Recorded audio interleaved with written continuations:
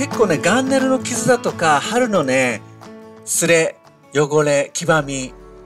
まあぼちぼちまあ年式相応この辺はしょうがないのかな。ステッカーの剥がれや傷もありますけどね。この辺はねアクリルの経年劣化が進んでおります。透明感がなくなっていますね。フロントデッキはね頑丈な作りです。バウローラー。アンカーウィンチはね、バッテリーが繋がってなかったので、動作確認できていません。ここはロープロッカー問題なしです。バウレールのぐらつきもありませんし、これは何かと言いますと、あの、ソーラーでできたあの、ベンチレーターです。いわゆるキャビンの中の換気扇ですね。窓の視界は問題なしです。これは LED のライト。天井のハッチがね、オープンになります。ここから顔を出して操船も可能です。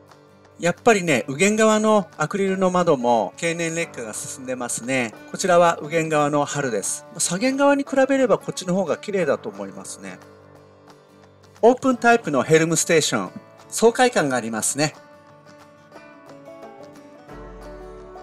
それではキャビンの中をご案内します。ここにもベンチレーターがついてる。天井はこんな感じ。壁やね、あの、床下、結構綺麗です。ここのクッションがないんですけどね、その代わりカーペットが敷いてあります。常にね、ソーラーのベンチレーターが稼働していますから、キャビンの中はジメッとした感じがありません。この23フィートのサイズに個室トイレがあるのが嬉しい装備ですね。あ、ここ、便座の蓋が取れちゃってる。結構ね、高さがあるから圧迫感がなくていいですね。取材時は動作確認できていませんので、見学の時は確認いたしましょう。係留しているから汚れていますけれども、そんな大した汚れではありません。ブワブワしてるところもありませんし、ノンスリップの状態もいいですね。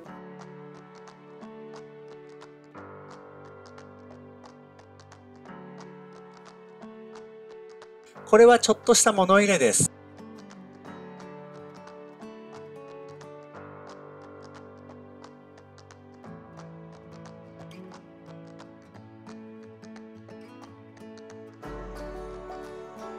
これはね、GPS 魚探、まあ、古いですからおまけと考えてください。ハンドルや前進後進のリモコン、メーター類、まあ、特別な不具合はありませんので、椅子はね、結構しっかりしたものが取り付けられています。これはウィンドウウォッシャー液を入れるタンク。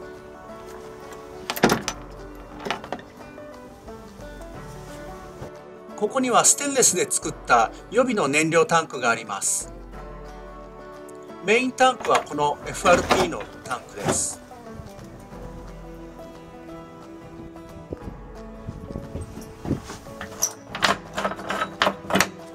これはねいけすです。結構広いんですよ。ハッチの開閉も問題なしです。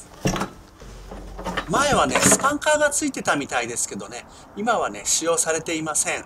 ポールだけ残されています。ここはね、前あの、2ストロークのオイルタンクが入ってたところです。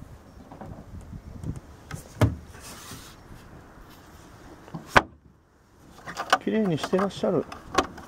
呼気用のブラケット。呼気のブラケット。ですねこれがラダーですね。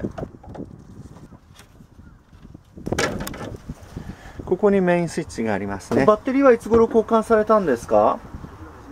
今年の初めぐらい。メインのバッテリーは交換されてますがサブバッテリーがありませんでしたのでワイパーやウインチトイレなどの伝送品の確認ができておりません。ヤマハ4ストローク115馬力エンジンです。2020年の初めにだいたい400時間ぐらい使用された中古エンジンに換装されています。チルトの上下は問題なしです。テラも問題ないですね。あれ？ここの先っちょがねちょっと欠けてますね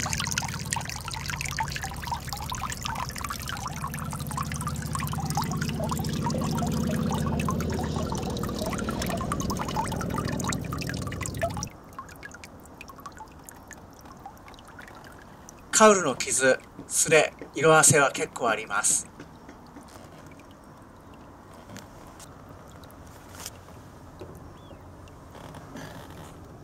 スピードは巡航で約20ノット、最高で26から27ノットぐらいです。また、ここの保管場所は河川ですので、海に出た後は保管場所に帰り着くまでの間には真水で洗っているようなものですから、電飾も少なめだと思われます。油圧ですからハンドルもすごく軽いです。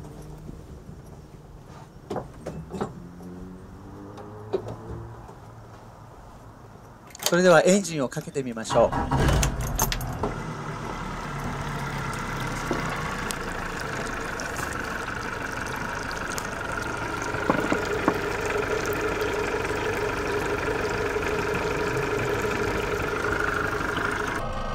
このアワーメーターは2ストロークエンジンの時のアワーメーターです。860時間の時に現在の4ストロークエンジンに交換されています。